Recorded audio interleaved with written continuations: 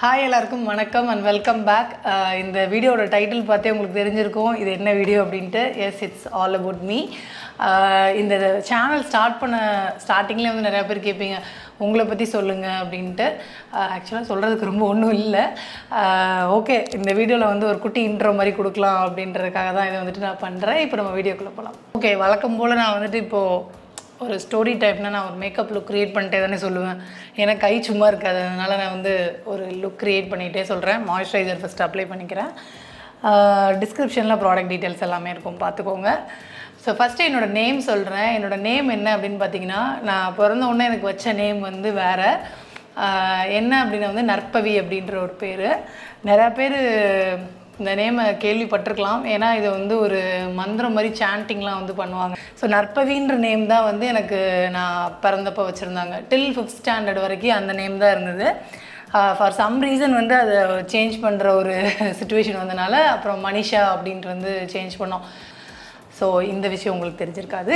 அதனால அதை சொன்னேன். ஓகே என்னோடய ஃபேமிலி பற்றி இப்போ சொல்கிறேன் என்னோடய அம்மா அப்பா ப்ளஸ் வந்துட்டு எனக்கு ரெண்டு சிப்ளிங்ஸ் இருக்காங்க. அக்கா ஒன்று தம்பி அப்புறம் எனக்கு அப்புறம் தம்பி. இது வந்து பிஃபோர் வெட்டிங் ஆஃப்டர் மேரேஜ் வந்துட்டு என்னோடய ஹஸ்பண்ட் என்னோடய பேபி என்னோடய இன்லாஸ் எல்லாருமே இருக்காங்க. என்னோடய கிராண்ட் பேரண்ட்ஸ் யாரும் இப்போ இல்லை. ஸோ எங்கள் ஊர் எது அப்படின்னு பார்த்தீங்கன்னா காரைக்குடி. பக்கத்தில் வந்து கோட்டையூர் அப்படின்ற ஒரு ஊர். காரைக்குடி கண்டிப்பாக நிறைய பேர் கேள்விப்பட்டிருப்பீங்க. செட்டிநாடு ஃபுட் எல்லாமே வந்து கேள்விப்பட்டிருப்பீங்க. ஸோ அங்கே தான் வந்துட்டு நான் படித்தது எல்லாமே. ஃபஸ்ட்டு என்னென்னா வந்து நான் ப்ரீகேஜிலேருந்தே படிச்சிருக்கேன். ரொம்ப பெரிய படிப்பெலாம் நான் படிச்சிருக்கேன். சின்ன வயசுலேயே வந்துட்டு கொஞ்சம் டாலாக இருக்கேன் அப்படின்றனால வந்துட்டு ஓகே ஏன் இன்னும் ஸ்கூலில் சேர்க்காமல் இருக்கீங்க? கொஞ்சம் சேட்டையும் அதிகமாக தான் பண்ணியிருப்பேன் அதனால் போய் சேர்த்துருங்கன்னு சொன்னனால ப்ரீகேஜி பால்வாடி போவோம்ல அதுக்கெலாம் நான் வந்து போயிருந்தேன். அந்த ஸ்கூல் நேம் வந்து சோழச்சியாச்சி அப்படின்ற ஒரு ஸ்கூல் அது எங்கேன்னா எங்கள் ஊர்லேருந்து பக்கத்தில் இருக்குது பள்ளத்தூரில் இருக்குது ஸோ அங்கே போயிட்டு வந்தேன். அதுக்கப்புறம் எல்கேஜி மட்டும் பள்ளத்தூரில் இருக்கிற கிறிஸ்டியன் ஸ்கூலில் படித்தேன் அதுக்கப்புறம் வந்து கோட்டையூரில் வந்து அந்த காலத்தில் வந்து ஒரே ஒரு இங்கிலீஷ் மீடியம் ஸ்கூல் அப்படின்னு சொல்லுவாங்க அதை. ஒரு ஃபாரினர் அவங்க வந்துட்டு தான் அங்கே ஹெச்எம்மாக இருப்பாங்க. ஸோ அந்த ஸ்கூலில் தான் நான் வந்துட்டு படித்தேன் ரொம்ப ஃபேமஸ் அந்த ஸ்கூல் அப்போதைக்கு மேனாட் மெமோரியல் இங்கிலீஷ் மெட்ரிகுலேஷன் ஸ்கூல் அப்படின்னு வரும். ஸோ அங்கே தான் வந்துட்டு நான் யூகேஜிலேருந்து டெஸ்ட் ஸ்டாண்டர்ட் வரைக்கும் படிச்சுட்டு இருந்தேன். அதுக்கப்புறம் ஃபஸ்ட் ஸ்டாண்டர்டுக்கு அப்புறம் வந்து எங்கள் ஊரில் வந்துட்டு சுப்பையாம்பலம் அப்படின்ற ஒரு ஸ்கூல் ஒன்று இருக்கும். அங்கே வந்து டில் ஃபிஃப்த் வரைக்கும் படித்தேன் கதை சொல்ல ஆரம்பித்தனால நான் என்ன பண்ணணுங்கிறதே மறந்துட்டு கதையை மட்டும் இப்போ சொல்லிகிட்டு இருக்கேன். அதுக்கப்புறம் வந்து நேம் சேஞ்ச் பண்ணோன்னே ஸ்கூலையும் சேஞ்ச் பண்ணிட்டேன். ஏன்னா எனிவே ஸ்கூல் சேஞ்ச் பண்ணுற மாதிரி தான் அப்போவும் இருந்தது. ஸோ அப்படியே புது ஸ்கூல் புது நேமோட போனோன்னா எந்த ஒரு சேஞ்சஸும் தெரியாது.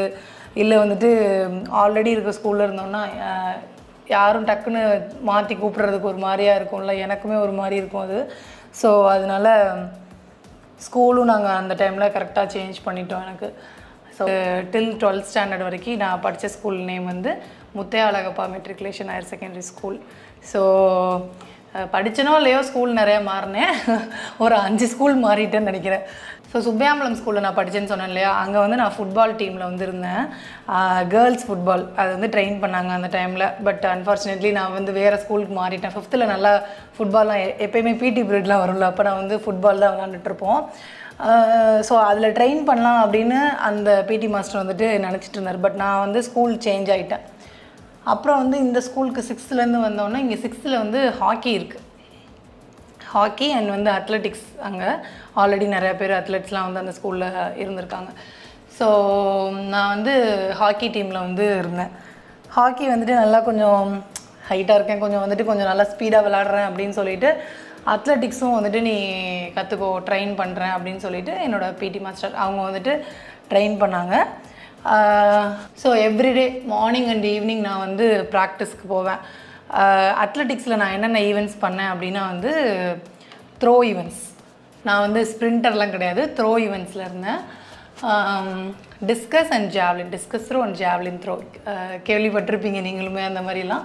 ஸோ அதெல்லாம் வந்துட்டு எனக்கு சொல்லி கொடுக்க ஆரம்பித்தாங்க ஸோ நான் வந்துட்டு அதை ப்ராக்டிஸ் பண்ணிகிட்டு இருந்தேன் morning and evening morning and evening அதுக்கப்புறம் வந்து ஸ்டேட் லெவல் ஈவெண்ட்ஸ்க்கெலாம் வந்துட்டு கூட்டிகிட்டு போக ஆரம்பித்தாங்க அதாவது ஓப்பன் டு ஆல் ஸ்போர்ட்ஸ் மீட்லாம் கூட்டிகிட்டு போக ஆரம்பித்தாங்க ஸோ கொஞ்சம் கொஞ்சமாக ப்ராக்டிஸ் பண்ணி நான் வந்து ஸ்டேட் ஈவெண்ட்ஸ் நேஷ்னல் ஈவெண்ட்ஸ்லலாம் வந்து பார்ட்டிசிபேட் பண்ணி மெடல்ஸ்லாம் வின் பண்ணியிருக்கேன். ஆக்சுவலாக வந்துட்டு நான் நேஷ்னல் ரெக்கார்டு ஹோல்டர் ஜாவ்லினில் ஸோ அதுக்கப்புறம் டுவெல்த்து முடித்ததுக்கப்புறமா நான் காலேஜ் வந்துட்டு ஜாயின் பண்ணேன். எங்கன்னா கோயம்புத்தூர் இன்ஸ்டியூட் ஆஃப் டெக்னாலஜி கோயம்புத்தூரில் ஸ்போர்ட்ஸ் கோட்டாவில் தான் ஜாயின் பண்ணேன். காலேஜில் வந்துட்டு ஜாயின் பண்ணதுக்கப்புறமா ஸ்போர்ட்ஸ் ஃபார் சம் ரீசன் வந்துட்டு டிஸ்கண்டினியூ பண்ணிட்டேன். பண்ண முடியல அப்படியே விட்டாச்சு. அதுக்கப்புறம் காலேஜ் அங்கே ஒரு ஃபோர் இயர்ஸ் என்ன படித்தேன் அப்படின்னு பார்த்தீங்கன்னா ஈஸி ஈஸியாக இருக்குமே நினச்சி படித்தேன் ஆனால் அப்படி இல்லை. ஃபஸ்ட் இயரில் மட்டும் ஈவெண்ட்ஸ் போய் அட்டன் பண்ணேன். அதாவது இன்டர் காலேஜ் ஈவெண்ட்ஸ்லாம் இருக்கும்ல. சம் ரீசன் அது பண்ண வேண்டியதாயிருச்சு ஓகே நான் ஒரு அத்லட்னே யார்கிட்டையும் இந்த யூடியூப்லலாம் நான் சொன்னது கிடையாது. ஃபர்ஸ்ட் டைம் இப்போ சொல்கிறேன்னு நினைக்கிறேன். அண்டு uh, அந்த மெடல்ஸ் அண்ட் சர்டிஃபிகேட்ஸ்லாம் வந்துட்டு எப்பயாவது முடிஞ்சால் நான் வந்து காமிக்கிறேன். Um, ஷோ ஆஃப்லாம் கிடையாது பட் ஜஸ்ட்டு நான் என்னோட என்னை என்னை பற்றி சொல்கிறனால இதெல்லாம் சொல்லிகிட்ருக்கேன் அண்டு நெக்ஸ்ட் uh, என்ன அப்படின்னு பார்த்தீங்கன்னா காலேஜில் வந்துட்டு ஃபைனல் இயர் முடிச்சு வெளியில் வந்தாச்சு. அதுக்கப்புறம் நான் ஹெச்சிஎல்ல வந்துட்டு நான் ஆஃப் கேம்பஸில் செலக்ட் ஆனேன். ஸோ ஹெச்சிஎல்ல ஜாயின் பண்ணிட்டேன். பண்ணிட்டதுக்கப்புறமா எனக்கு ஐடி ஃபீல்டு வந்து பிடிக்காதுலாம் சொல்ல மாட்டேன். பிடிச்சிது. பட் வந்து என்ன சொல்கிறது அந்தளவுக்கு எனக்கு இன்ட்ரெஸ்டிங்கான ஒரு டீம் இல்லைன்னு தான் நான் சொல்லுவேன்.